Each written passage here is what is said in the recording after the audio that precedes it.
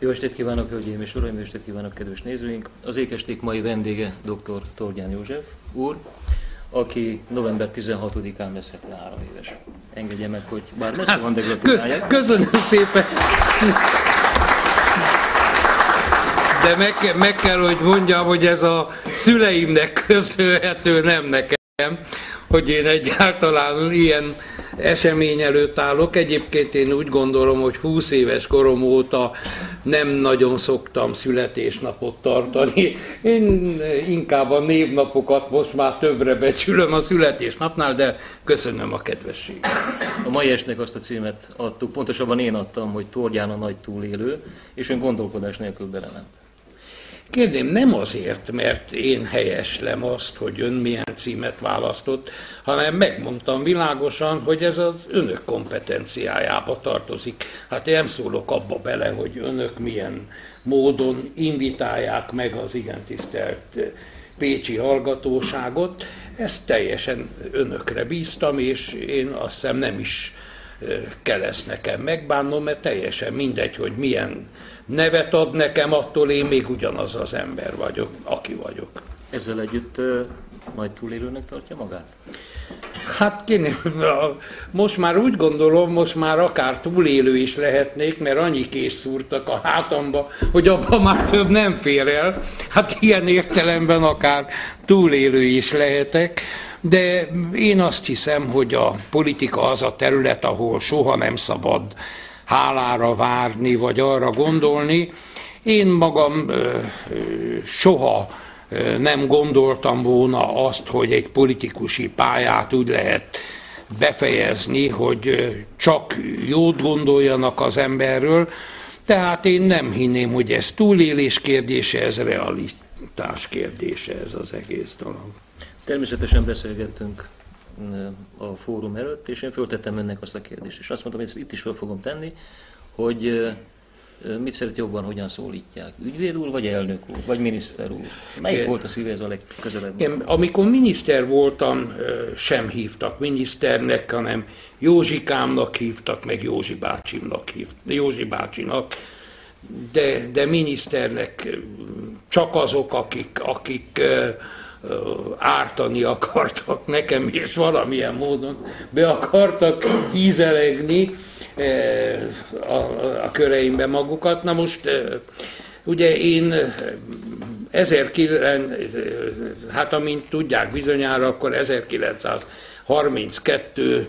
november 16-án születtem, és ugye én apai ágon egy nagyon szegény jobbágy család származéka vagyok, anyai ágon pedig görög-katolikus papi dinasztia az őseim sora a kárpátaljai részről.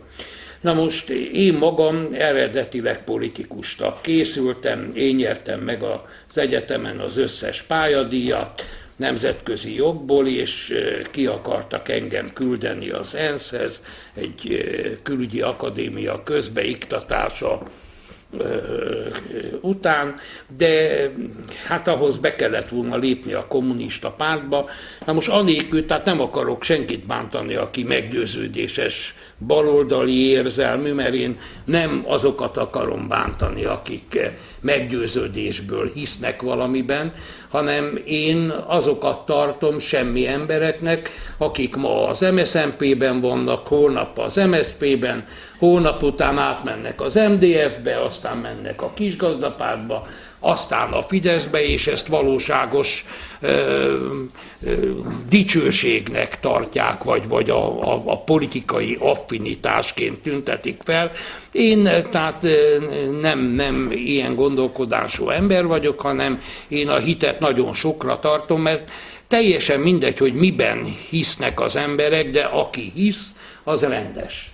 Aki vallásban hisz, az soha nem szokott Isten ellenes magatartást tanúsítani, aki valami más erkölcsben hisz, ahhoz is ragaszkodik. Tehát én úgy gondolom, hogy ezért, amikor én a görög-katolikus neveltetésem kapcsán, ugye itt megemlíteném, hogy az, az egy kisebbség a görög-katolikusok, és mi mindig nagyon nemzeti érzelműek voltunk, mert hiszen akkor is magyar volt a liturgiánk, amikor a római katolikus egyházba a latin. Na most ebből fakadóan, amikor velem közölték, hogy milyen karrier előtt állok az egyetemen, de be kell lépni a kommunisták Magyarországi pártjába, akkor én nemet mondtam. Hát én nem tudom már pontosan, hogy mi volt akkor a neve. Tény az, hogy akkor is kommunista volt, azután is, ma is, tehát ebbe, ebbe én változást nem észlelek, de én akkor úgy döntöttem, hogy inkább vállalom a keserű, segédmunkás időszakot, mert ugye segédmunkásként is nagy nehézségek árán tudtam csak elhelyezkedni kitüntetéses diplomával, hadd tegyem hozzá, de végül is én úgy hiszem, hogy, hogy bölcsen döntöttem, amikor nem vállaltam olyan politikai közreműködést, ami az én meggyőződésemmel ellentétes. Na most nagy-nagy szerencsével és segítséggel végül is ügyvéd lehettem, és a rendszerváltó folyamatok előtt közel 35 évig voltam ügyvéd, utána 12 évig voltam amint azt tudják, törvényalkotó, országgyűlési képviselő, és most, amikor 70 éves lettem, akkor ismét felújítottam az ügyvédi praxist, és három év óta ismét praktizálok, újabban elég sokat írok is, mert mint e korszak történelmi tanúja be kell, hogy számolja különböző eseményekről. Na ezért, tehát kicsit hosszúra sikeredett a válaszom.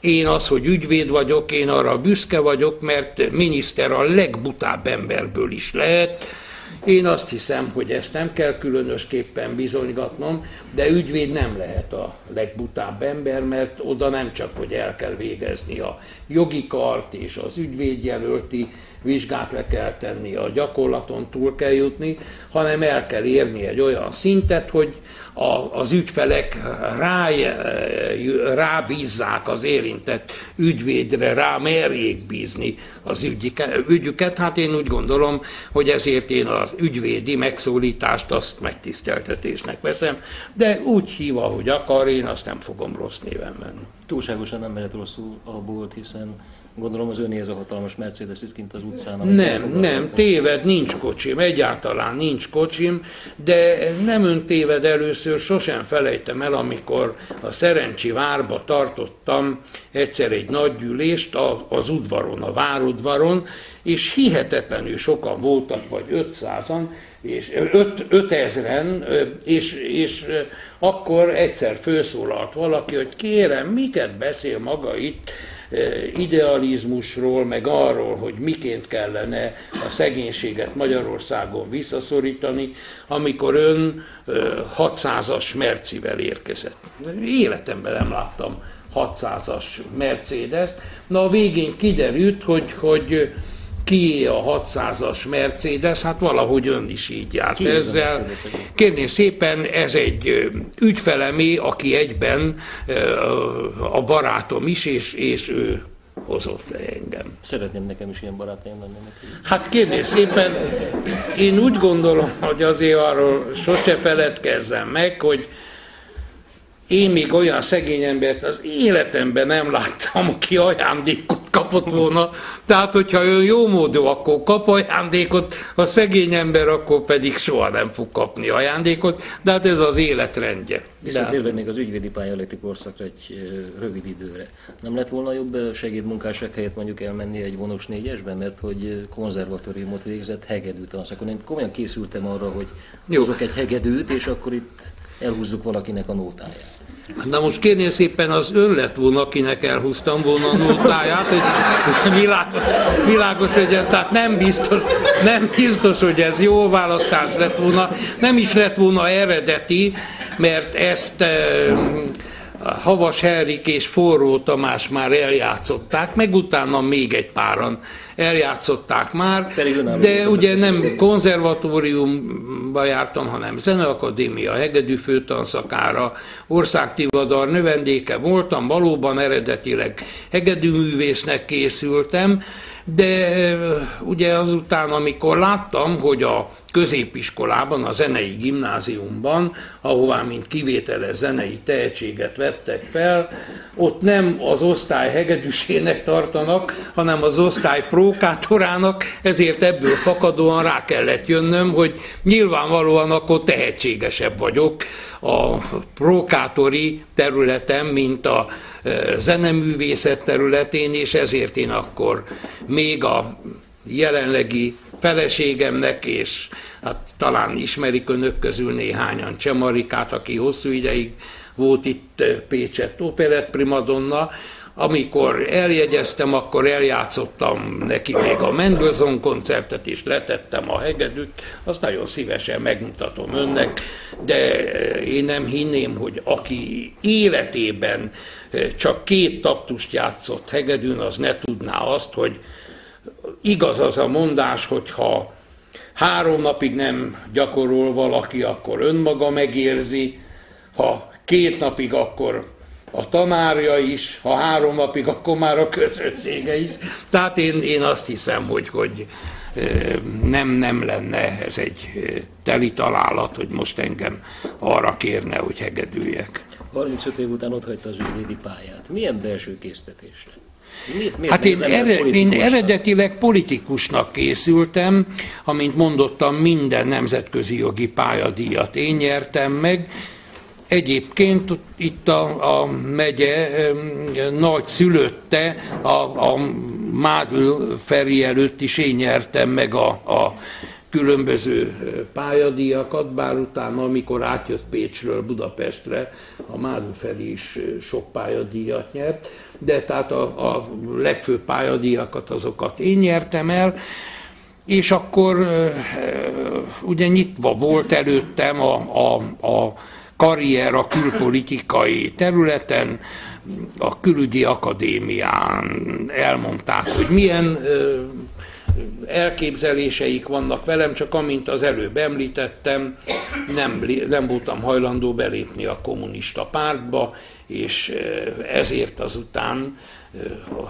az egyetemi elhelyező bizottság az fekete listára tett, még segédmunkásnak sem mehettem. Nagy-nagy ügyeskedéssel sikerült azt is csak kivívnom, hogy segédmunkás lehessek. Voltam segédmunkás, hogy akkor konkrétumot is mondjak, de ahogy azt mondják, hogy itt kitalálok dolgokat.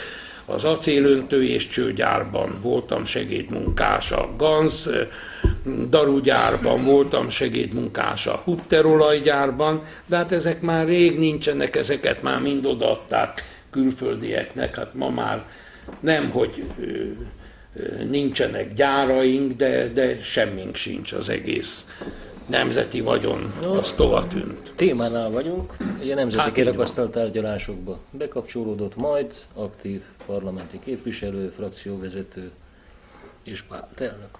Igen. Volt-e felelőssége abban, hogy az országot tart most a Kérném, mindenkinek van felelőssége, aki a politikusi pályán részt vesz, és valami nem úgy sikerül, ahogy az a nép számára jó. Hát ezt a felelősséget elvitatni senki esetében sem lehet. Azt talán mentő körülménynek felhozhatnám, hogy én voltam talán az, aki kezdettől fogva azt mondottam, hogy öt évre a kommunistákat el kell tiltani a közügyek gyakorlásától.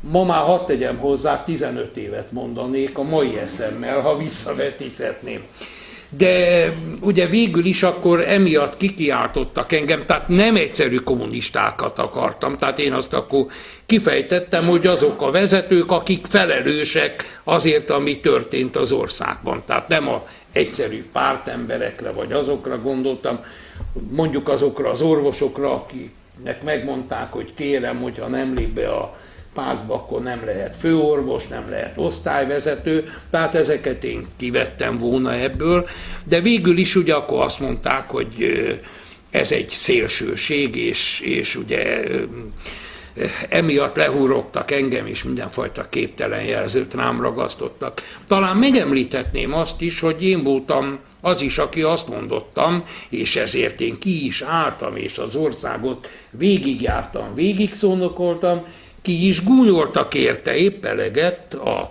rádióban is, televízióban is, és a médiában, meg különösképpen a írott médiában. Na most kérném, ugye nekem az volt az álláspontom, hogy semmit nem szabad a magyar nemzeti vagyomból odaadni senkinek, addig, amíg fel nem mérjük, hogy miből áll a nemzeti vagyon. Hát nem tudtuk, hogy mi a nemzeti vagyon. Mennyi az értéke annak. Mit akarunk abból csinálni. Na most ezt az Antal József áthúzta azzal, én bűnösnek tartom az Antalt, nem csinálok ebből titkot, abban, hogy ez bekövetkezett. Na jó, a legnagyobb bűnös a német Miklós, meg a kommunisták voltak, akik ezt elindították 1986-ban. Ugye azt mondták, hogy spontán privatizáció. Én erről azt a fogalmat alkottam meg, és próbáltam a szónoklataimban elmondani, hogy ez a spontán privatizációnak nevezett folyamat tulajdonképpen egy tudatos nemzetrablás. Na most ezek után következett, ugye a, a német Miklós odaadta a, a, az egész országot tulajdonképpen egy nemzetközi bank alelnöki tisztségért, és ezt követően jött ugye Antal József, aki azt mondta, hogy, hogy nem is volt hajlandó tárgyalni a, a gazdasági kérdésekről.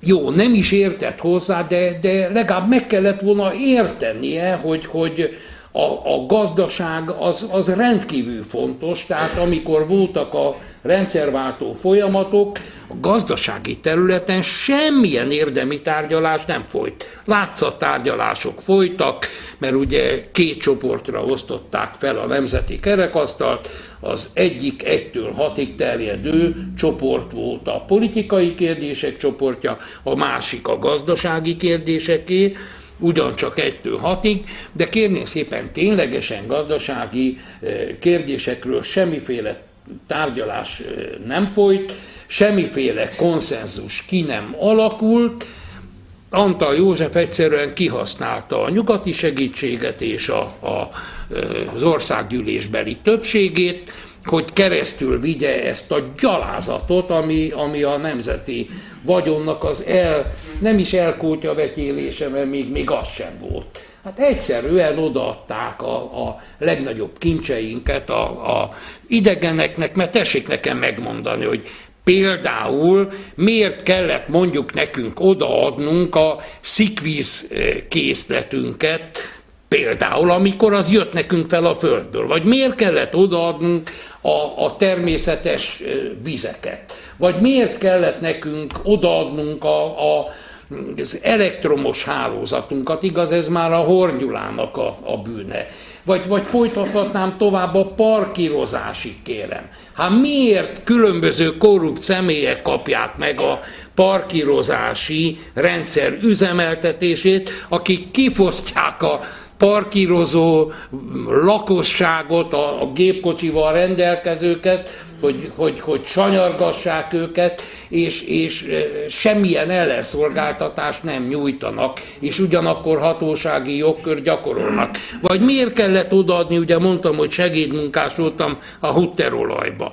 Még bizony a testvéremmel, aki, aki nálam sokkal-sokkal kiválóbb, és, és egy, egy zseniális főorvos volt, úgy hiszem, hogy a országban talán a legjobb belgyógyász főorvos lehetett, amíg ki nem készítették amiatt, mert az én testvérem. Na ugye, tehát el kell, hogy mondjam, mi például rendszeresen jártunk még szenteste is a Hutter olajba vagont kirakni, mert azt nagyon jól megfizették, és én nagyon szegény gyerek voltam.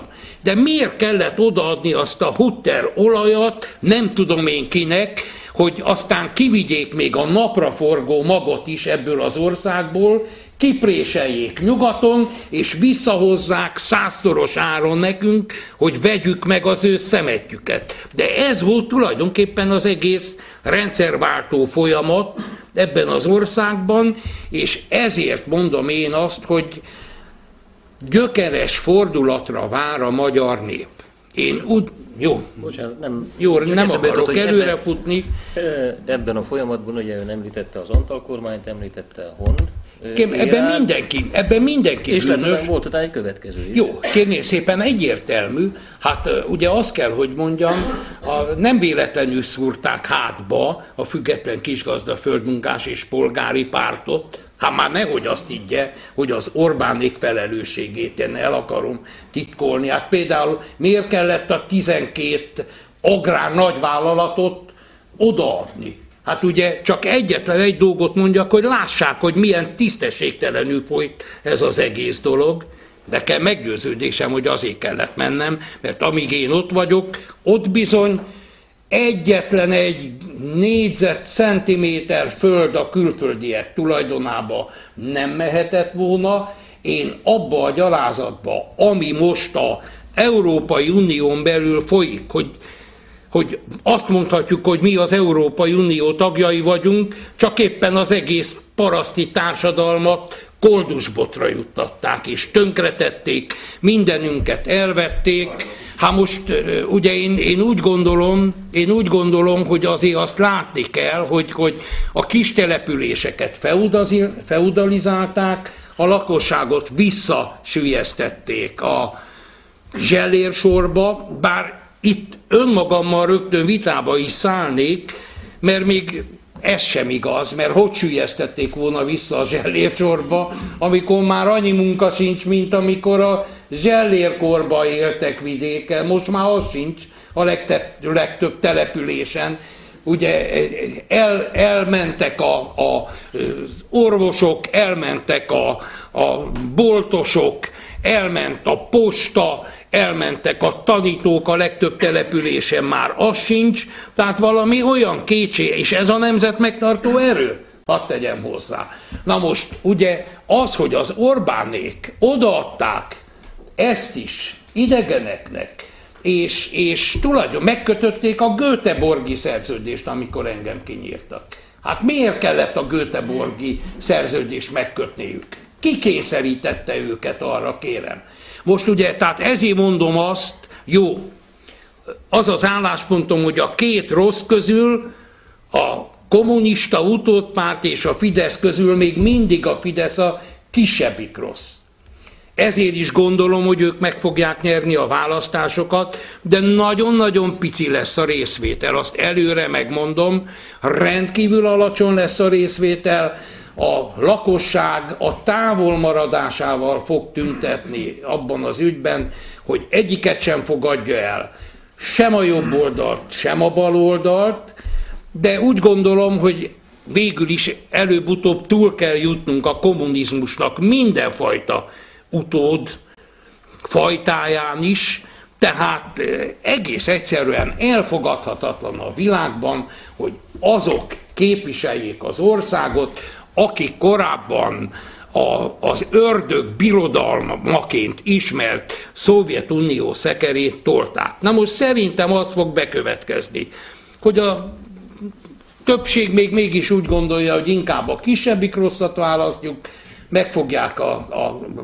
Fidesz talán többen szavazni, utána pedig a Szabaddemokraták Szövetsége megint végre fog hajtani egy olyan 180 fokos politikai fordulatot, mint amit 1990-ben csinált, csak ellenkező előjellel. Akkor azt csinálták, hogy a legharcosabb antikommunisztai elmondatokkal, majd, hogy meg nem nyerték a választásokat, akkor én léptettem vissza, mint a független kisgazdapárt országos választási irodájának vezetője, egy csomó képviselőjelöltünket az MDF javára, hogy ez ne következzen be, hogy az SDS győz, de végül is kérném szépen. Akkor az SDS ugye mint egy nagyon harcos antikommunista erő, hatalmas nagy szavazatmennyiséget kapott, ahogy lezárulták, lezárták az urnákat, utána csinált egy balraátot, és összeborult a hornékkal. Hát akkor kérném szépen, ugye mit beszéljünk erről. Most ugyanezt meg fogják csinálni, csak most jól megérdemelten a komsikat fogják átbaszúrni, emlékezzenek a szavamra, de csak a választások után. Majd azt fogják mondani, hogy a nép kívánságára, meg ezért, meg azért, meg amazért, de ugyanezt meg fogják csinálni, és akkor e, utána most az SDS össze fog borulni a, a Fidesz-szel. Hát egyébként is, ha megnézik, a Orbán Viktor beszédírója a, a Schmidt Mária. Hát az ő sógornője az Unger Klára, kérem. Hát akkor most miről beszélünk?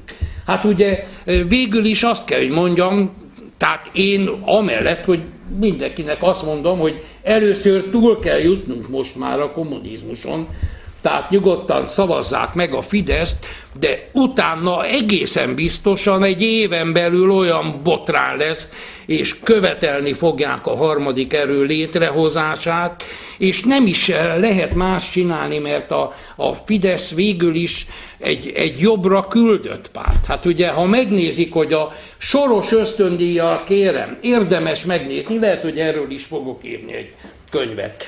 1984-től, 84-től, hát ki tudott akkor még arról, hogy itt rendszerváltó folyamatok lesznek, már kezdték kivinni a fideszes gyerekeket felkészíteni. Hát tessék már egy picit gondolkodni, hát miért van az, hogy egyetlen egy kis gazda sem kapott soros ösztöndíjat?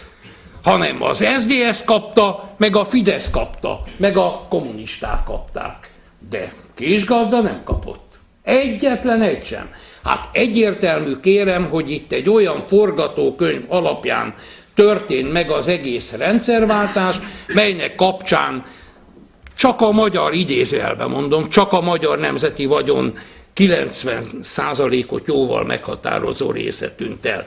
Közben ugye az a 20 milliárd dollár államadóság, amire az Antal József azt állította, hogy mi most 60 milliárd forint 60 milliárd dollár értékben államosítunk, és ebből rögtön kifizetjük a 20 milliárd államadóságot, marad 40 milliárd USA dollár a gazdaságunk fellendítésére. Mi történt? Egy kanyi krajcárt nem kaptak vissza, hanem most fölment a, a, szerintem a, az államadóságunk legalább 50 milliárd forintra, csak már nincs miből fizetni, mert nincs egyetlen egy Egyetlen egy gyárunk sincs, semmi nincs. Földjeink nincsenek, semmi sincsen. Ki lesz ez az említett harmadik erő?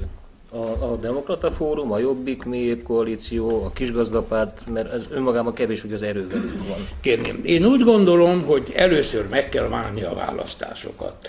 Most a választások előtt eh, egy új erőt létrehozni nem szabad.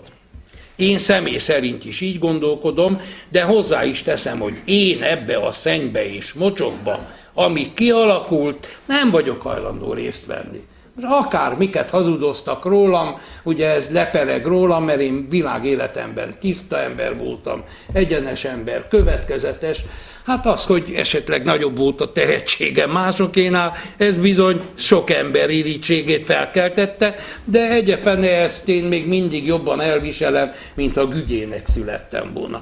Na most ugye én, én úgy gondolom, úgy gondolom, hogy először is ugye a, a Fideszt meg kell választatni a jövő kormányának, és miután a nép azt várja, akik rá a Fideszre szavaznak, hogy gyökeres fordulatot fognak létrehozni. Csak hogy ők nem, nem is hozhatnak létre gyökeres fordulatot, egyszerűen azért nem, mert a rendszerváltás egyik haszonélvezője a Fidesz. Hát nézzék meg. Hát ugye akkor, akkor ők hogy, hogy hozhatnának létre gyökeres fordulatot? Tehát ők konzerválni fogják azt, ami kialakult, hogy tudják a legjobban konzerválni, a szadesszal összeborulva, mert a Fidesznek nincs komoly szellemi bázisa. Akárki akár mit is mond, kérem, de ha megnézik például, hogy amikor én a kisgazda pártnak 82 esélyes képviselőjelöltjét visszaléptettem, hogy a kommunisták győzelmét megakadályozzam, és a Fidesz tudjon kormányt alakítani, nézzék meg, hogy a Fidesz részéről kik lettek miniszterek. Hát nem akarok most pereket a nyakamba ugye, mert, mert van épp elég gondom, bajom ennélkül is, de azért gondolják végig, hogy ki mindenkiből nem lett miniszter. Na most én úgy gondolom, kérem, hogy nekik most nem lesz se anyagi mozgásterük, se szellemi bázisuk nincs, egy kiürített kasszát fognak találni, mert a kommunisták sokkal nagyobb szakértelemmel fogják kiüríteni a kasszát, mint ahogy tette azt a Fidesz a kommunista győzelem előtt. Tehát egy kanyi krajcár nem lesz a, a kasszába, hanem majd fognak egy csomó olyan kötelezettségvállalást csinálni, amelyre a Fidesz azt hazudta, hogy ő majd ezt így fogja csinálni. És akkor fogják tépni a hajukat, hogy akkor miből teremtsünk elő dolgokat. Tehát itt nem, hogy nem lesz rendszerváltás, hanem sokkal nehezebb helyzetbe fog kerülni az ország, és akkor esik majd le a tantusz a nép azon rétegénél, akinek minden mindegy, csak ne a kommunisták, hangsúlyozom, ezt meg tudom érteni, mert egy fél évszázadon keresztül szörnyű, hogy mit csináltak ezzel az országgal, de azért azt kell, hogy mondjam, az se mindennapos, ami a utóbbi 15 évben történt, tehát szóval azért ez se semmi, hogy világos legyen mindenki előtt, tehát én úgy gondolom, hogy a SDS-be már nagyon rég készítik elő, sajnos nem nagyon szoktak engem olvasni, de én öt évvel ezelőtt már megírtam. Mégpedig megírtam azt, hogy miként készítik elő az SDS nél azt a folyamatot, hogy az MSZP-t hátba tudják szúrni. Na most röviden annyit, hogy ezt én részletesen kifejtem a választási trükkök és titkok című könyvemben, de azért arra fölhívom a figyelmüket, hogy nézzék már meg. Ott van a, a Kunce Gábor, aki semmiképpen nem kötne szövetséget a fidesz most ezért készítik elő azt a folyamatot, hogy a Kunce Gábort miként lehet az SZDSZ éléről eltávolítani.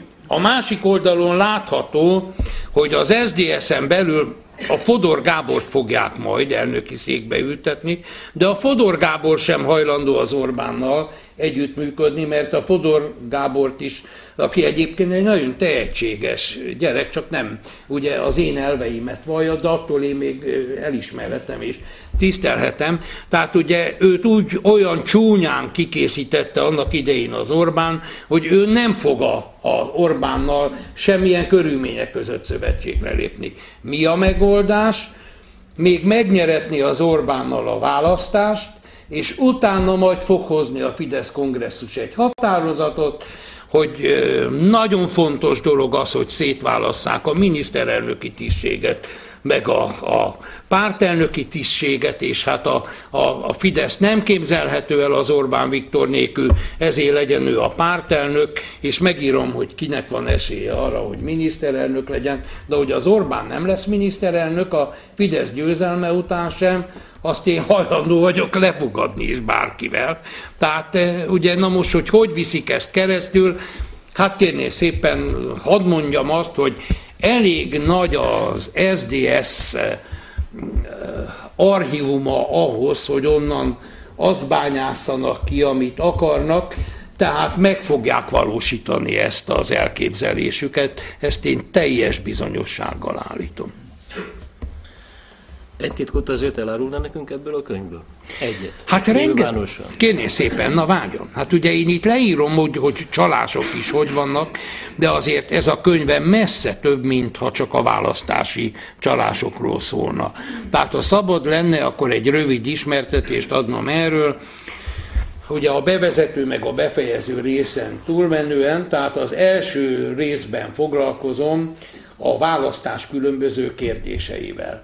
De itt kimutatom azt is, hogy az aránytalan, a szavazatok aránytalansága az milyen következményekhez vezethet, és miként lehet azt elérni mondjuk, hogy, hogy 30% fölötti eredmény után akár 50% feletti mandátumhoz jusson, vagy ha érdekli önöket, ugye konkrétan leírom, hogy miként semmizik ki a kis településen élők akaratát a, abból, hogy az ő ö, tényleges akaratukat érvényesíteni tudják a ö, választások kapcsán.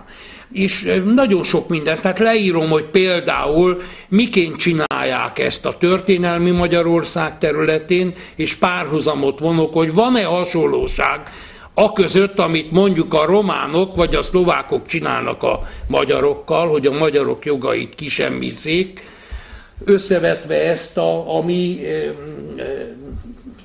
választójogi törvényünkkel, és leírom, hogy kinek mi a bűne ezzel kapcsolatban.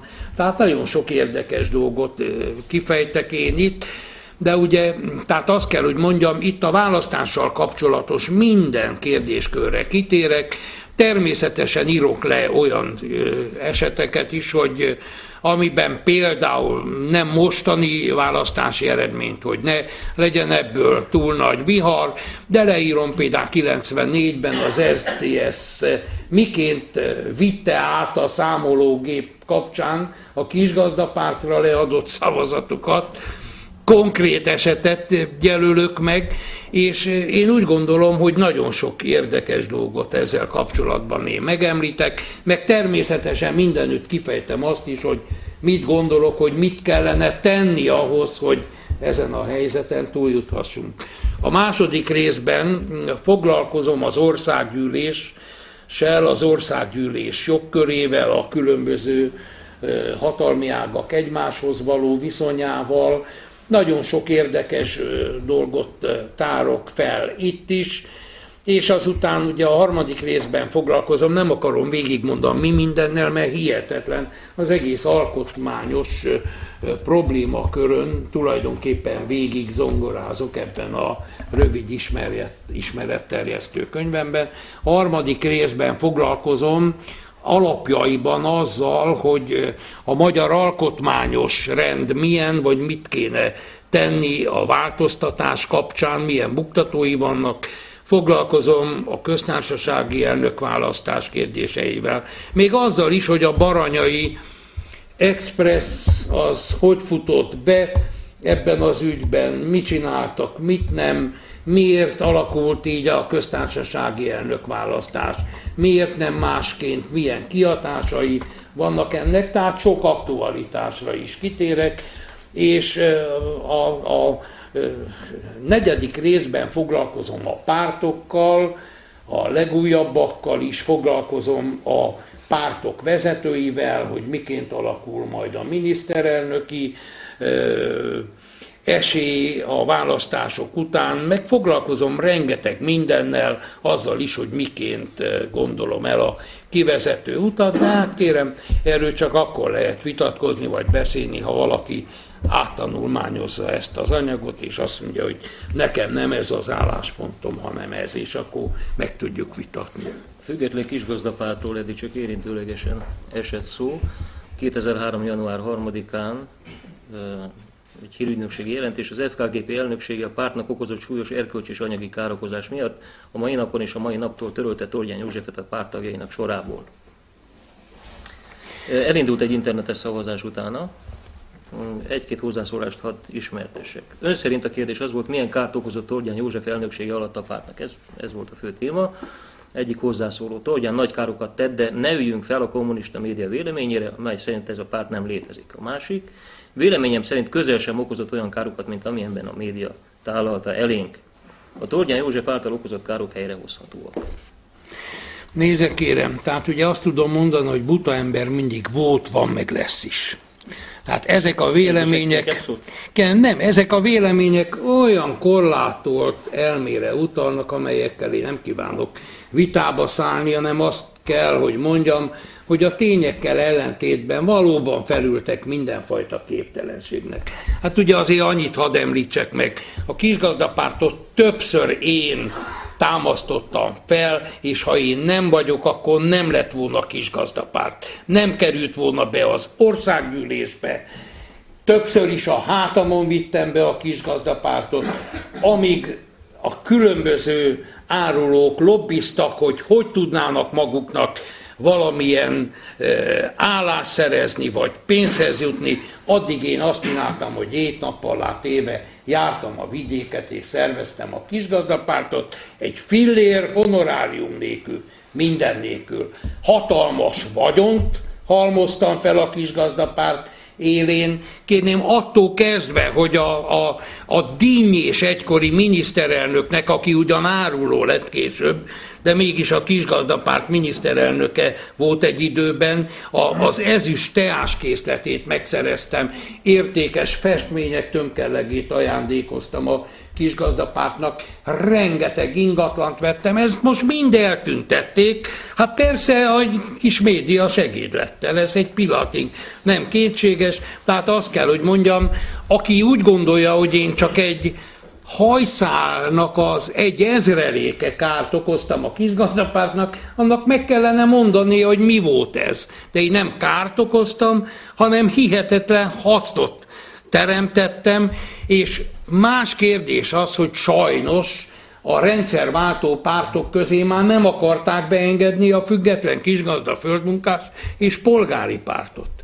Hát ugye én kérném szépen azt tudom mondani ezzel kapcsolatban, hogy meg kellene vizsgálni, hogy a kisgazdapárt miért csak 1998 november 20-án határozta el, hogy felújítja a tevékenységét. Hát gondoljanak arra, 87 nyarán már a lakitelki sátor is felállt. 88-ban, nem 98-ban. 1988, bocsássanak meg, tehát akkor szövegték, köszönöm szépen, hogy figyel. Tehát 1988. november 20-án. Tehát egyértelmű, hogy akkor már több mint egy éve a lakitelki sátor is állt, az SZDSZ hálózatok már rég tevékenykedtek. Na most ugye az, hogy a kisgazdapárt újjász indításával késlekedtek az akkori vezetők, hát bizony kommunista akaratot teljesítettek. Hát ezt ki tudnám fejteni részletesebben, de nem szívesen köpök a saját tányéromba, tehát a, én a kisgazdapárt ügyét mindig a sajátomnak tekintettem, tekintem meg. Fogom tekinteni, ezért nem akarok részlet, nagyon részletesen lehetne válaszolni erre a kérdésre.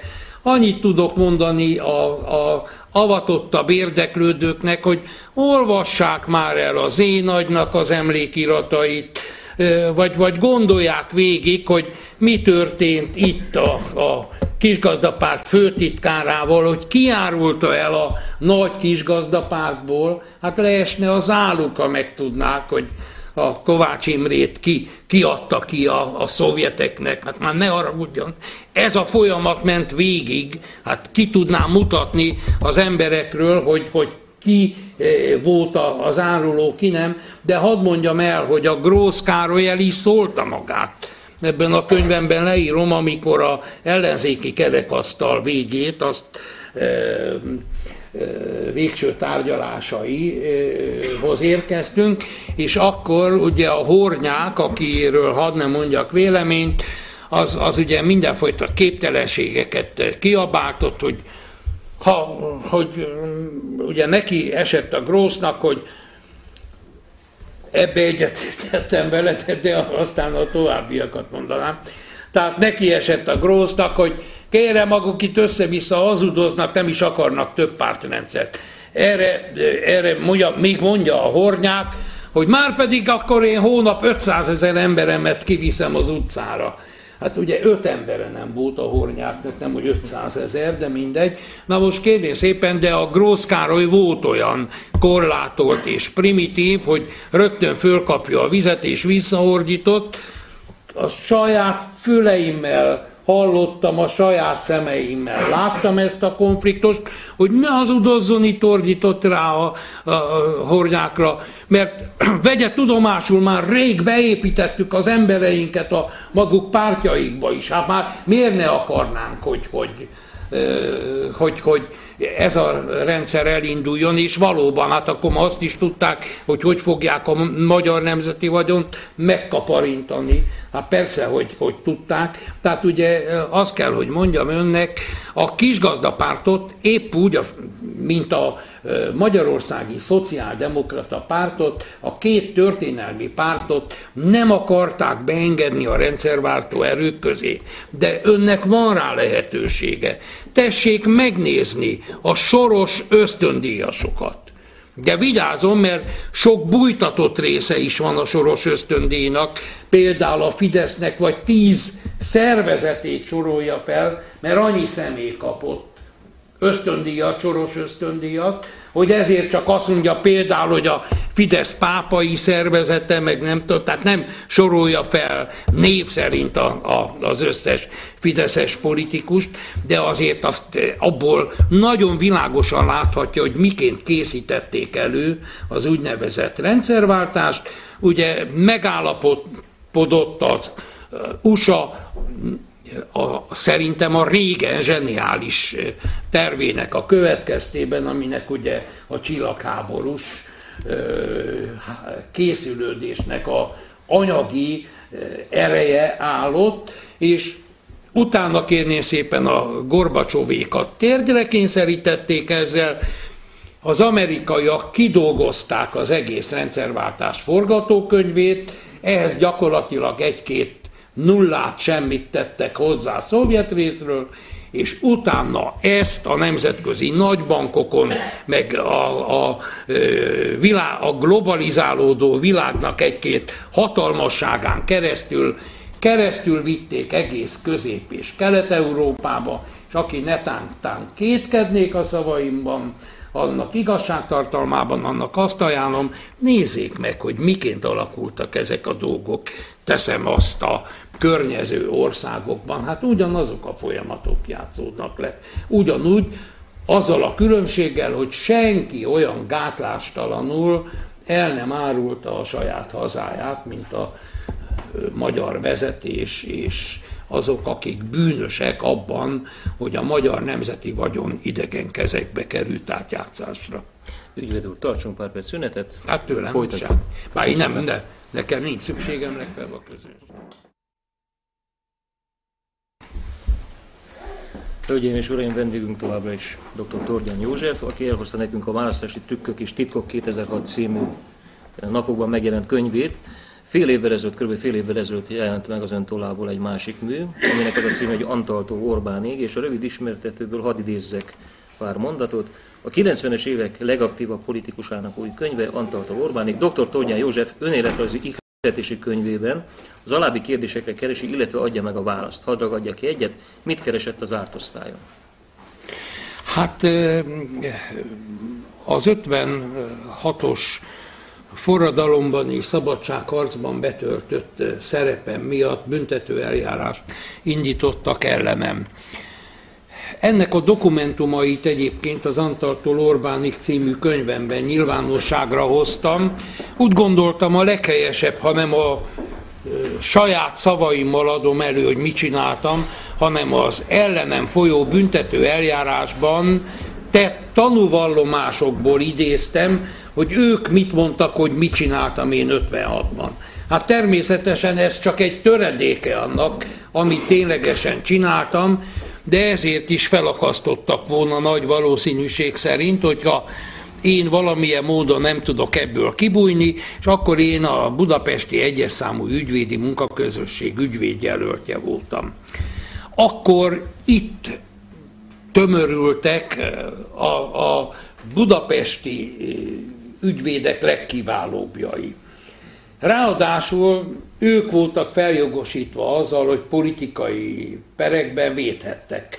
Tudnilik nem védhetett bárki, hát én is egész ügyvédi tevékenységem alatt, a 35 év alatt nem védhettem politikai ügyekben, dupla nullás ügyekben, nullás ügyekben, tehát katonai ügyekben, sem, mert politikailag megbízhatatlan voltam. Na most ugye ők elmondták nekem, hogy ebből az ügyből kétféleképpen lehet kijönni. Vagy beszervezik az embert, vagy felakasztják. ehhez képest csak egyetlen egy út van, ami menekülési útvonalat jelent, ha valahogy be tudnék kerülni a bolondok háza zárt osztályára.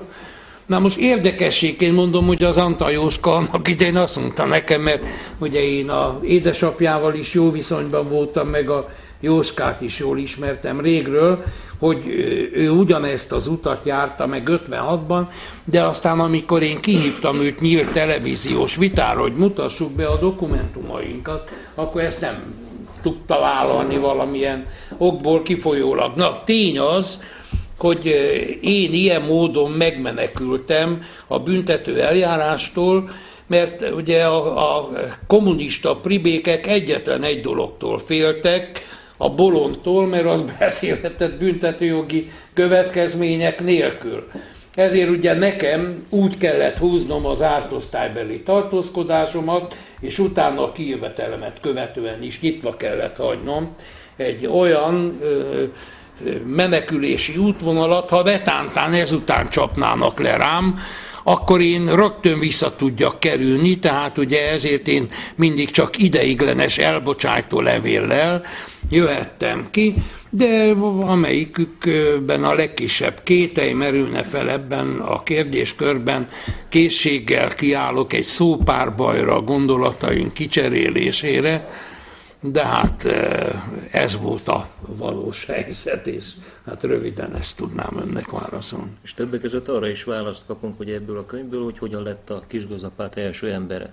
Csak azért kérdezem, mert ugye annak idején a médiában dolgozók között az a hír járta, hogy tulajdonképpen az történt, hogy a rózsadombi lakásban meghívta a nagy kisgazda öregeket, és a fehér asztal mellett előbb-utóbb eldőlt, hogy ez a Józsi, ez egy nagyon jó gyerek, legyen az első. Hát ugye ott kezdem, hogy a, a rózsadombi lakás 82 négyzetméteres volt, a, a konyhája talán két és félszer két méteres volt, tehát ott nem nagyon tudtam volna vendégül látni senkit sem.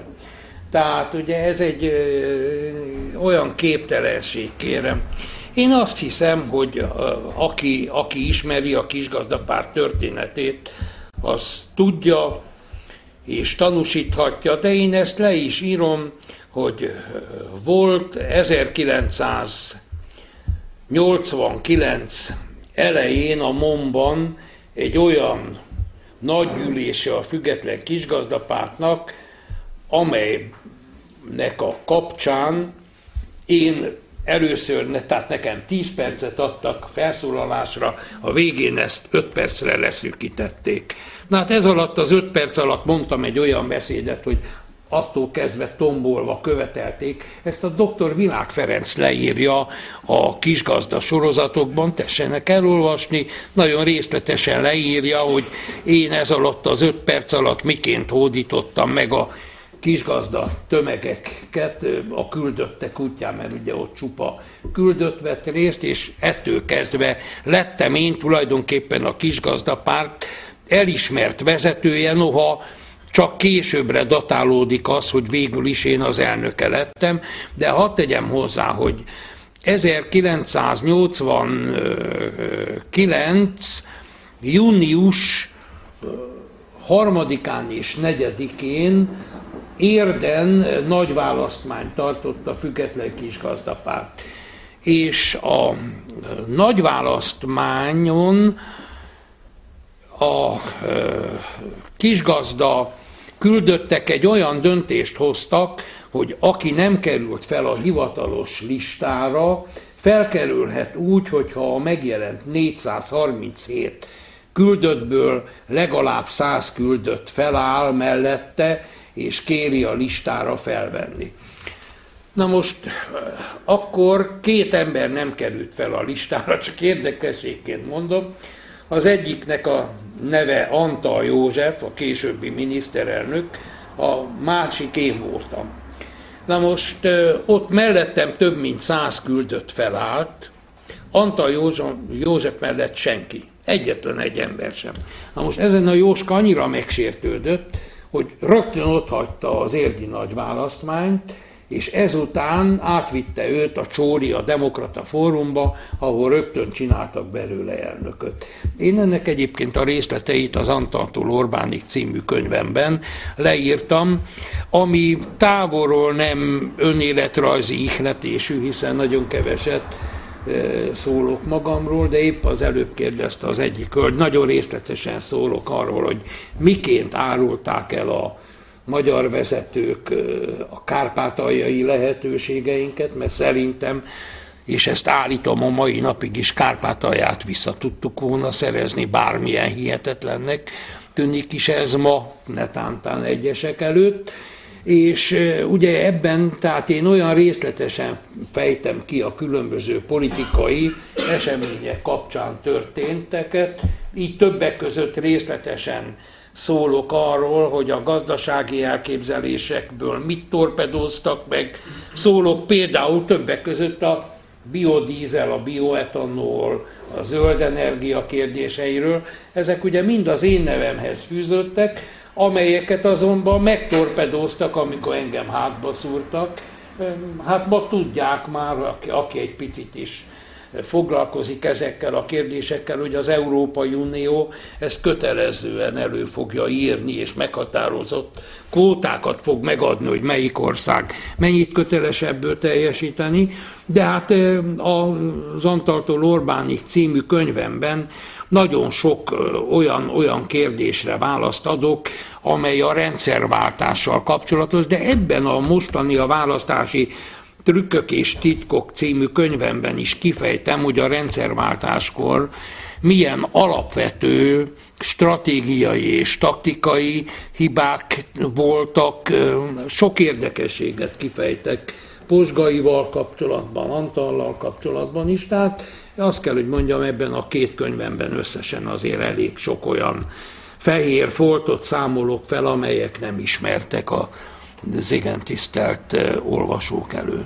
Parancsolj. Elképzelhető, hogy egy idézőjelben szürke eminenciás társaságában ülök most, és ad politikai tanácsot annak ellenére, hogy visszavonult a politikától aktívan? Vagy Én, mikor tér vissza? Kérném szépen, ebben is, tehát kifejtem ebben a, a választási trükkök és titkok című könyvemben, hogy mikor fogok visszatérni, és miért, és miként, de legyen szabad annyit megjegyeznem ismételten, hogy most nem, hogy világos legyen. 2006-ban nem. Most hagyni kell ezeket a folyamatokat, végigmenni, és sajnos nem tudok bölcsebbet kitalálni, mint azt, hogy a magyar népnek minden szegmensében ki kell józanodnia ahhoz, hogy itt egy komoly fordulatot létre lehessen hozni, és nagyon örülök, hogy ennyi fiatalt látok itt. Ugye úgy gondolom, hogy ezután a fiatalságnak kell kézbe vennie a gyeplőt, és tehát ebben a vonatkozásban fejtem én ki, hogy milyen segítséget tudok majd ehhez nyújtani, de egyértelmű, hogy itt egy új generáció kell, mert eh, ami van, az annyira negatív megítélésű a nép szemében, hogy azzal előre jutni nem lehet nem hiányzik önnek a parlamentből? Nekünk hiányzik a parlamentből. Nagyon unalmasak az időszakok, most akár mellette, akár ellene szólok. Hát először is nincs parlamentünk, és sosem volt nekünk országgyűlésünk. Van parlamentje Nagy-Britanniának van. Szomorúan veszem tudomásul, hogy követem. állandóan ezt hallom, hogy magyar parlament. Nincs magyar parlament. Magyar országgyűlés van, magyar országháza van, és legyünk rá büszkék, mert a világ talán legszebb ország háza. Hát természetesen hiányzik, hiszen én azt hiszem, hogy, hogy talán nem tévedek nagyot, hogyha úgy gondolom, hogy nem véletlen volt az, hogy én abba hagytam a sokak által tehetségesnek vélt zenei kirobbanásomat is, mert, mert úgy gondoltam, hogy ezen a területen többet tudnék produkálni. Én valóban, tehát nekem nem kellettek tanácsadók, én úgy gondolom, hogy önmagában az a tény, hogy én durván 35 évig voltam ügyvédjelölti időmmel együtt ügyvédi területen, és én még a polihisztorkodást csináltam, tehát mindenfajta ügyet vállaltam. Ez alatt én egy olyan, olyan tudásanyagra tettem szert, hogy nekem annyiból állt a szakértés, hogy megnyomjam a gombot. Tehát csak azt kellett tudnom, hogy melyik gombot kell megnyomnom az országgyűlésben. Na most ebből fakadóan én nem vállalkozom arra, hogy tanácsokat adjak a jelenlegieknek, mert ők ennek a rendszernek a konzerválásában érintettek, és amit elkövettek a magyar nép ellen, én azt olyan súlyos büntettek sorozatának tartom, hogy én ebben közreműködni nem vagyok hajlandó. Tehát ha én valamikor színre lépek, akkor csak egy gyökeres változtatás érdekében lépek színre, de nehogy valaki ismét mindenfajta hazugságot rám kenhessen, nem akarok semmiféle pozíciót, hiszen volt nekem erőm számos pozíciót visszautasítani, amint elmondottam, egész fiatalon egy nagyon nagy karriert utasítottam vissza, aztán a másik oldalon ugye a köztársasági elnöki tisztséget, amelyet mindenképpen elnyertem volna, ha akartam volna, mert igaz, hogy a Dávidi bolya akkor néhány személlyel ellenem szavazott volna, de annyian sukták meg nekem, hogy pótolni fogják a Dávidi bolya szavazatokat, hogy bőségesen meg lett volna, de én nem, én nem, nem vágytam semmilyen tisztségre, én annak jobban örülök, ha emberekkel találkozom, elbeszélgetek, ha én emberként élhetek. Az a világ pedig, amit kialakítottak a vezetők közül, között az egy olyan zárt világ, ami egyszerűen elfogadhatatlan a számomra.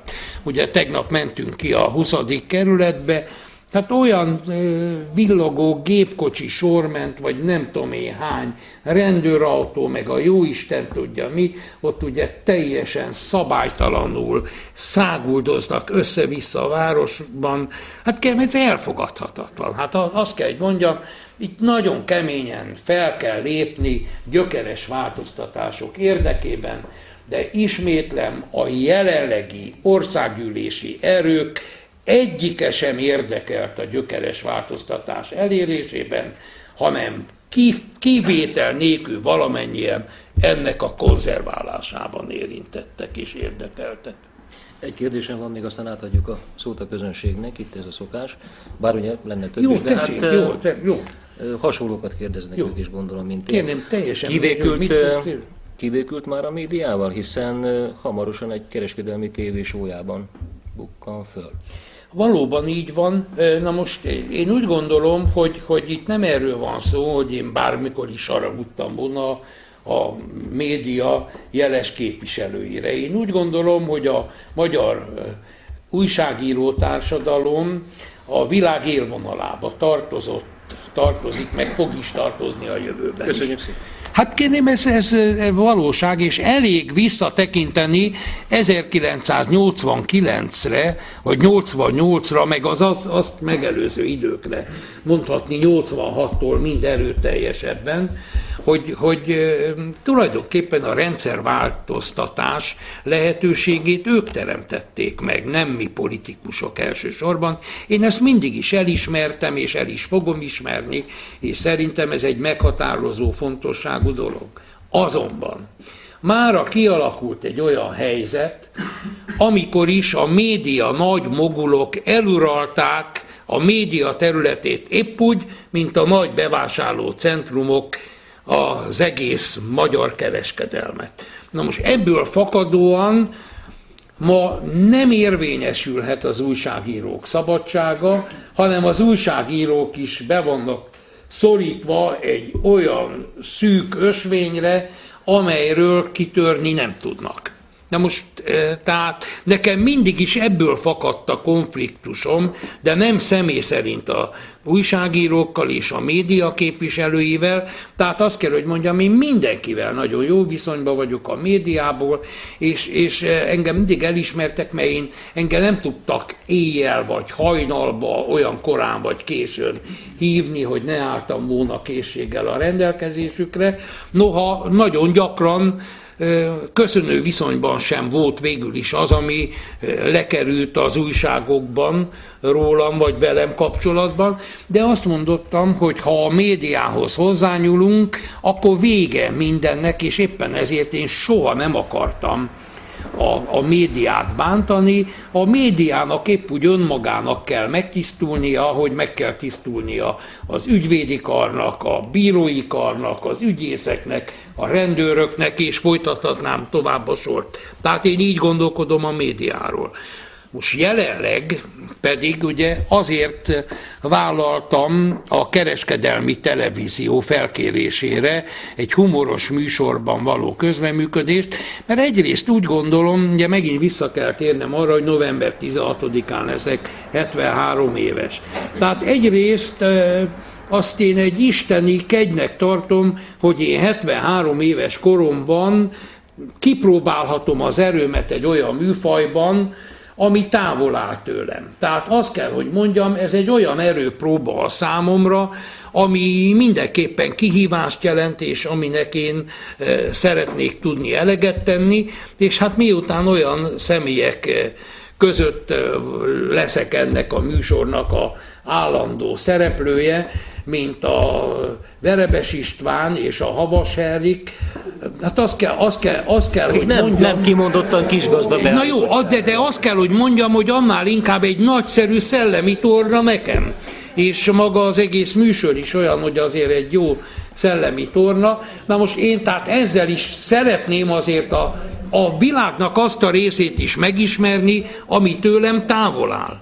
Mert ugye az, hogy én örökké a kisgazda körben mozogtam, és kisgazda körben vettem részt, az azt jelentette, hogy a világnak egy olyan részéről, ami lehet, hogy jelentősebb, mint amiben én belelátok, kirekeztettem önmagamat. Most én nagyon örülök annak, hogy én leülök és ember közelbe kerülök olyanokkal, akikkel a politikai nézeteim messze távol állnak egymástól. De azért én úgy gondolom, hogy, hogy végül is az emberi fejlődés annak a következménye, hogy nem egyformaképpen gondolkodott az emberiség. Tehát én ezt e, ilyenként ítélem meg és élem meg, és ezért én végül is megtiszteltetésnek tekintem azt, hogy ez a lehetőség megadatott a számomra. Ennyiről van szó, nem többről és nem kevesebb. Őszintén mondom, nem irigylem a havas meg a verebes, mert felköthetik a nadrágot. Na várjon, azért azt kell, hogy mondjam, már az eddigi tapasztalataim alapján azért annyit én látok, hogy más ebbe a műfajba kívülről belecsöppenni, és más benfentesként abban részt venni. Hát ezzel én tisztában voltam korábban is, de úgy gondolom, hogy ezzel együtt ez egy nagyon jó hát kihívás, azt kell, hogy mondjam, az én életemben, és én nem szégyelem azt, hogy én a kihívásokkal mindig igyekeztem szembenézni, és addig érzem magam embernek, amíg ez így lesz. Amikor majd meghunyászkodom, és a visszavonulás gondolata merül fel bennem, akkor én már nem Tordján József leszek, hanem egy emberroncs. De hát remélem ez még odébb lesz, hisz én úgy számolom, hogy száz éves korom után következik ez majd be, de addig még van egy kemény 80-asom hátra, most mit izgattam magam Hölgyeim és uraim, akkor most kihívjuk a közönséget. Önöki a szó. Tessék parancsolni.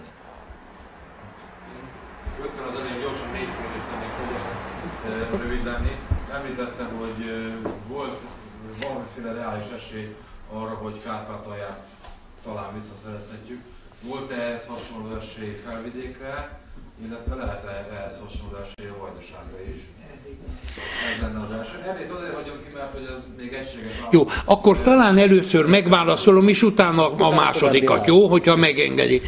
Na most, tehát én emlékeztetném önöket arra, és ezt én leírom az Antartól Orbánik című könyvemben, hogy 1991. december 1 valódi légügyi dinasztiákkal a Ferihegy Airport privatizációja kapcsán. Ugye a privatizációt már elég elítélte itt a elhangzottak alapján. Lehet-e tudni, hogy ki lesz a végső Nézek kérem, egyet lehet tudni, hogy a MSP kiürítette a kasszát, és nekik szükségük van pénzre. Ezért akár mérget vehet arra, hogy ezt még privatizálja a jelenlegi kormány, hogy valamiféle ütőkártyát szerezzen még magának a választásokra. Tehát ez biztos. Ami viszont azt a, ne haragudjon, tisztességtelen megjegyzését illeti, hogy a légügyi dinasztiában érintett vagyok, hát annyiban érintett vagyok, hogy a fiam felesége, az ő édesanyja és az édesapja is. A Malévnél voltak, azoknak kiemelkedő vezetői voltak, a fiam apósa például az Air Kanadának volt a magyarországi képviselője.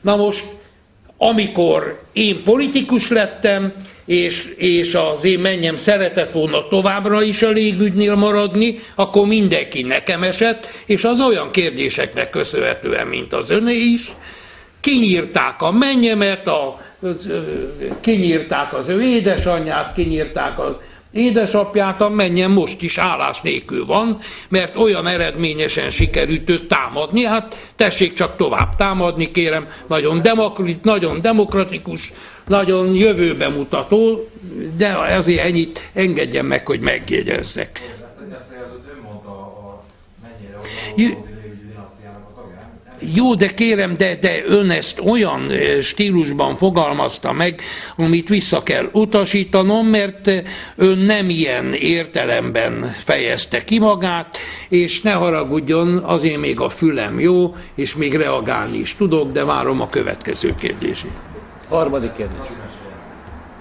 Nekem nem járok Fradi meccsre, mégpedig azért nem járok Fradi meccsre, nem csinálok titkot ebből sem, mert egyrészt az a légkör, ami eluralkodott a futballpályákon, hát az egyszerűen egy tisztességes ember számára elviselhetetlen és elfogadhatatlan.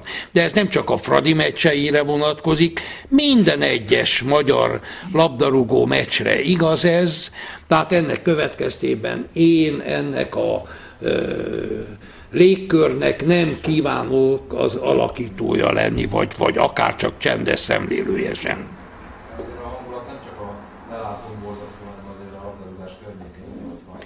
Kérném, hát az, az, ne haragudjon, ha egy társadalmat vizsgál, nem lehet kiemelni semmit. Tehát az előbb elmondtam, hogy nem lehet kiemelni mondjuk a média helyzetét a társadalom egyéb viszonyaitól függetlenül vizsgálván.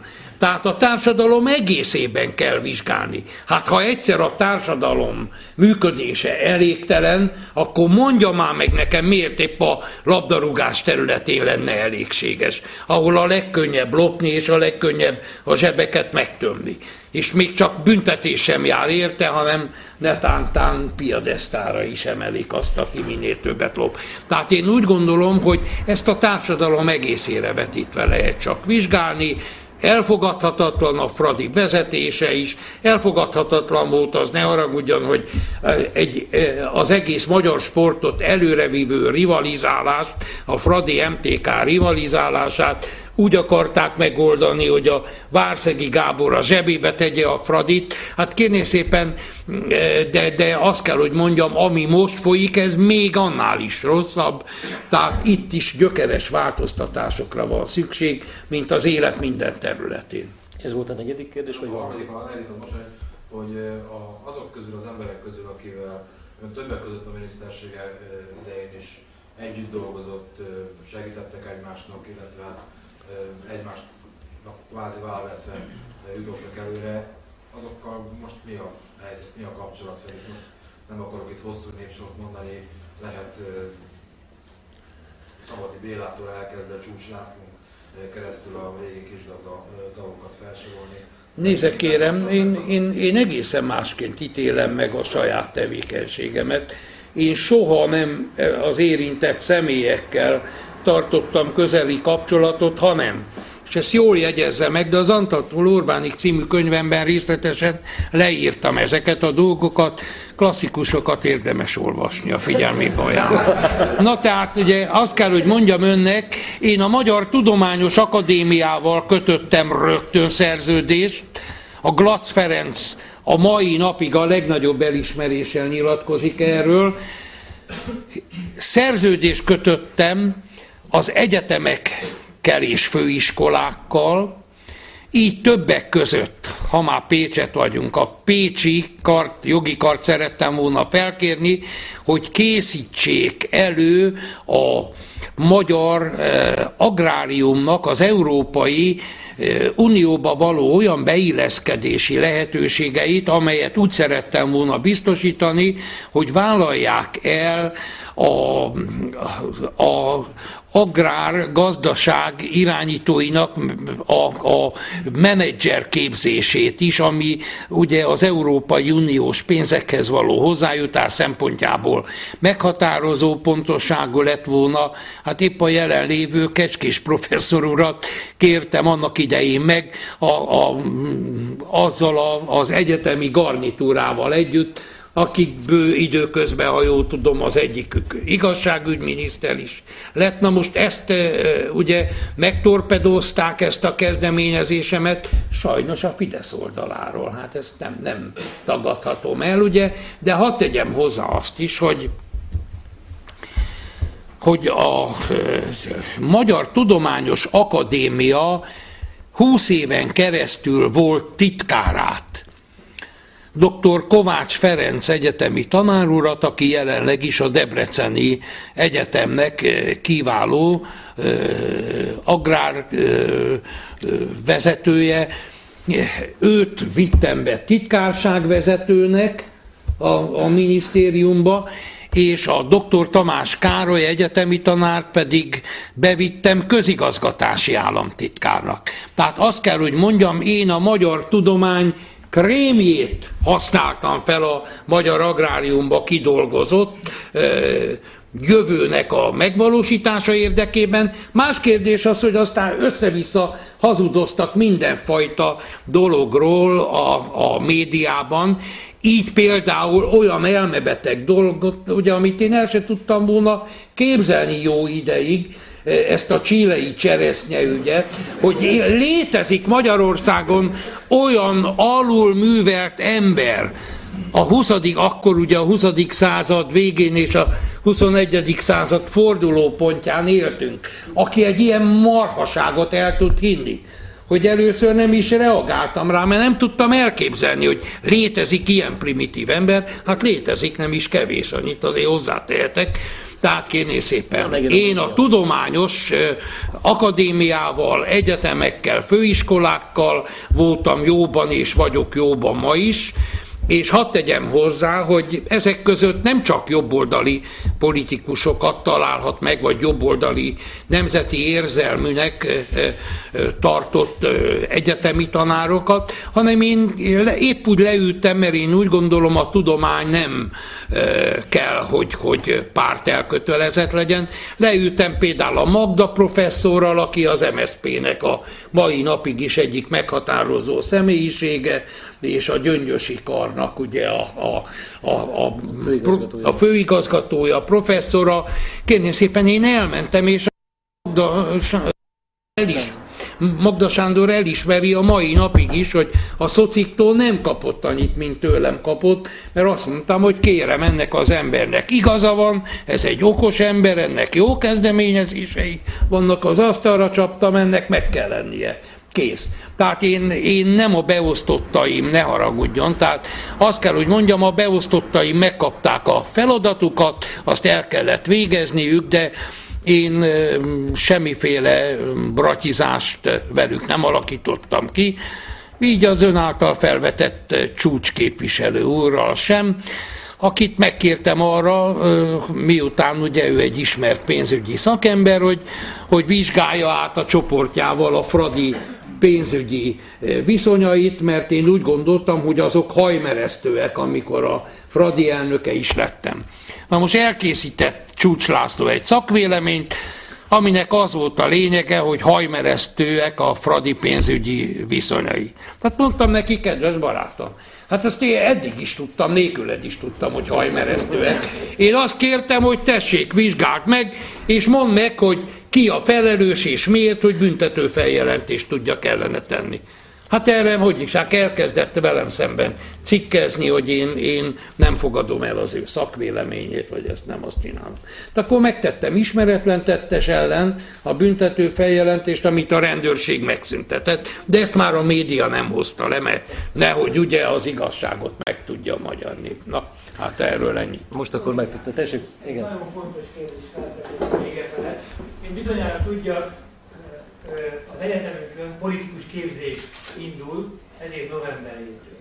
Ez egy három hónapos, 120 órás képzés lesz, és elméleti és gyakorlati anyagokat is fognak a politikusok majd tanulni. A véleményét szeretnék kérdezni, hogy szükségesnek tartja-e, hogy a politikusokat képezzék Magyarországon? Az első kérdés. Ön részt venne a tapasztalatra, gondolom, ennek az oktatásában, tehát segítene nekünk a politikusok képzésében. És a harmadik, hogy ön szerint a mai politikusok közül kiket iratna be? Hát,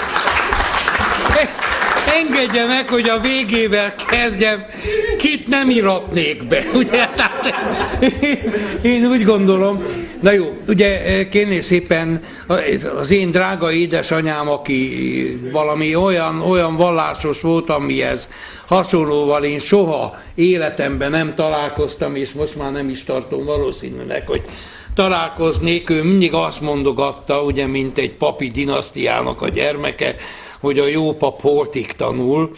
Na hát ebből kifolyólag, kifolyólag azt kell, hogy mondjam, tehát természetes a tanulás, mindenkire ráfér. De ugye Magyarországon azért az mégis köztudott, közismert, hogy Magyarországon politikus képzés nem volt. Hát kérném szépen, hogy egy, egy, egy cinege politikus lehetett, vagy egy, egy pothornyik elvtárs. Hát én sosem felejtem el, ugye amikor a, a, a, az állampárt idejében egyszer bekapcsoltam a tévét, és egy olyan borzasztó ilyen az alkoholos elbutultság legvégső stádiumában lévő embert láttam, akinek nem a feje töltötte be az egész képernyőt, hanem a tokája. Na hát innen kezdve aztán el tudják képzelni, hogy nézett ki, de ez még az üdítőbb része volt a tévéadásnak, mert kiderült, hogy amikor megszólalt, illetve nem megszólalt, elbőgte magát. Na hát ő volt a Pothornyik elvtárs, de körülbelül ilyen szinten volt a Cinege elvtárs, és, és még folytathatnám tovább. Na, én úgy gondolom, hogy ha megnézi, hogy ki mindenki volt vezető most az elmúlt 15 évben is, hát hadd ne mondjam el, de azért ugye Gyurcsány Ferencre, mint a kedvenc idézelben mondva, kedvenc politikusomra, azért rámutatnék annyiban, hogy amikor én először őt meghallottam, Hát nem beszélni, mert valami olyan elképesztő hadarás, össze-vissza zagyvaságot éreztem, tehát azt se tudtam, hogy milyen nyelven beszél. Ha, ha azt mondták volna nekem magyarul, akkor kikértem volna, te haragudjanak, ő nem magyarul beszél. Na most, hogy, hogy így most valaki, javult az most nagyot javult, de az Orbánnal is, de akkor mindjárt, hogy ne, nehogy megsértsem az egyik tábort, akkor megismertem a Viktor, tehát ugyan korábban ismertem, mert ő a fiamnak a évfolyamtársa volt, de amikor mint politikust megismertem, akkor kérném szépen, ugye az Orbán Viktor dadogott, és így állandóan így, és akkor azt mondtam neki, na fiam, az először is elmész logopédushoz, és elmész idegorvoshoz. Amíg ezt nem teszed, soha nem. Na most ehhez képest most hallgassák meg, tehát azért, tehát tanulni kell, és hasznos, és tanulni jó dolog. De a Gyurcsánynál még rosszabb volt a helyzet, hogy világot legyen, bár ugye őt nem ismerem, tehát neki ilyen tanácsokat nem tudtam adni, de úgy látszik azért valakit ők csak kapott tanácsot. Tehát természetes, hogy szükség van politikus képzésre, sokkal többre lenne szükség, mert három hónap alatt még azt sem nagyon lehet megtanulni, hogy, hogy milyen protokoll legyen a diplomáciában. Ugye most a, a egyik politikus perben tanúként kihallgattak, és akkor azt mondja, egy volt kisgazda, aki időközben rájött arra, hogy ő nem kisgazda, hanem örmény, hogy, hogy egy, hogy is hívják, egy, ugye, hogy egy, egy amerikai kerti partira, ami rá, rá volt írva, hogy, hogy smokingba és fekete nyakkendőbe kell menni, hogy én nem így mentem. Hát aztán mondtam, hogy már ne haragudj, ha én elmegyek egy garden partira az amerikaiakhoz, ahová rövid nadrágba is elmennek egyes amerikaiak, ha én oda elmegyek fekete smokingba és fekete nyakkendőbe, onnan rögtön vittek volna a bolondok házába, ezúttal joggal. Ezúttal, jog, ezúttal joggal. Na most tehát én, én úgy gondolom, hogy még három hónap alatt azt sem lehet megtanulni, hogy, hogy, hogy, hogy mi a helyes protokoll, vagy a viselkedés. Tehát ez egy, ez egy nagyon nehéz szakma. Ez nem egy könnyű, nem egy könnyű szakma. Tehát azt kell, hogy mondjam, természetesen szükség van arra, hogy, hogy egy olyan politikus garnitúra kerüljön kiképzésre Magyarországon, akik tudnak mondjuk beszélni, és nem eh, kell feltétlenül az, ebben a könyvemben azt is leírom, ugye, hogy az országgyűlésben mi uralkodott el, hogy, eh, hogy olvasni alig tudó országgyűlési képviselők micsoda csillagászati összegekért vesznek maguk mellé szakértőket, hogy írjanak nekik mindenfajta hülyeséget, hogy risztelhessenek a pénzen. Tehát, hogy világos legyen. Tehát, tehát nyilvánvalóan van mit tanulni, van mit tanulni, kérem, és én úgy gondolom, hogy, hogy ebbe mindenkinek, aki ebbe tud segíteni, megtiszteltetés, ha tud segíteni, de én fogadatlan prókátor életemben nem voltam, ilyen felkérést nem kaptam. Most Tehát én csak, de kérem, de, de ez nem, nem felkérés, már elnézést kérek, ez egy kérdés volt, majd ha lesz felkérés, akkor arra válaszolok. De hát elég furcsa a helyzet, mert amikor fiatal házasok voltunk, ugye akkor örökké nekem kellett járnom Pécsre, a felesége miatt, a Csemarika miatt, de hát akkor még ugye ráadásul kocsink se volt, semmi se volt, tehát nem is, nem is volt ez egy egyszerű dolog. Na ma sincs, tehát ennyiben azért de a helyzet, hely, a barátok azok vannak, hál' Istennek. Azok vannak, és, és én úgy gondolom, hogy a, az araboknak igazuk van, mert van egy arab mondás, mi szerint nem az a leggazdagabb ember, akinek sok pénze van, hanem az, akinek sok barátja. És ezt sose feledjék el, ez így igaz. Ez egy nagyon igaz és nagyon bölcs mondás. Tehát kérni szépen, én úgy gondolom, ha kapok felkérést, akkor azt meg is fogom válaszolni, de ismétlem, én elvileg úgy ítélem meg a helyzetet, hogy megtiszteltetés mindenkinek, aki részt vehet egy ifjú politikus generáció kiképzésében, mert nélkülük ezt az országot talpra állítani belátható időn belül nem lehet. Mindenféle hazugságokat el lehet hinni, lehet ennek örülni, hogy ez ügyesebben hazudott, mint a másik, ezért erre adom a voksomat, de ez az országon nem segít, hogy világos legyen. Csak az, amit ön felvetett. De nem három hónap alatt. Ezt is fontolják meg. Legyen ez a végszó. Most nagyon szépen köszönöm, hogy vendégünk volt dr. Tóbián József. Köszönöm a figyelmet, és további jó estét kívánok. Hát én meg, én meg mielőtt, mielőtt lezárnák ezt a dolgot, ugyanis azzal szerettem volna kezdeni, hogy amikor hírt szereztem arról, hogy Pécs Európa kulturális fővárosa lehet, akkor én ennek nagyon örültem. Megmondom, hogy miért. Ugyanis amikor én jártam a feleségemmel, ő 1966-tól volt a Pécsi Nemzeti Színház operett primadonnája, jártam ide, akkor feltűnt nekem, hogy mennyivel igényesebb a pécsi közönség, mint mondjuk a budapesti Nagymező utcai operett színháznak a nézőközönsége. És többen, akik, akik ide jöttek vendégszerepelni, fővárosi hírességekként meg is buktak itt Pécset, és tehát én ezt egy, egy igazi kulturális centrumnak tekintettem, és ebben semmi túlzás nincsen, higgyék el nekem, ez, ez mindenre igaz, ha Pécsnek a, a régmúltját vesszük, a római kori emlékeit, és minden, bármilyen részét nézzük az eltelt időszaknak, Pécs mindig egy kulturális meghatározó szerepet töltött be ebben a városban, és most, amikor erről értesültem, hogy Pécs lesz Magyarország európai kulturális fővárosa, akkor én ezt egy nagyon méltányos, jogos döntésnek tartottam, és szeretnék ehhez sok sikert kívánni, és gratulálni önöknek. Köszönöm szépen!